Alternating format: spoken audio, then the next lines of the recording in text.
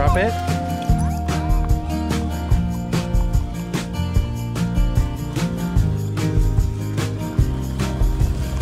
She'll do that all day long. I could throw it out here until it gets dark and she'll bring it back every time.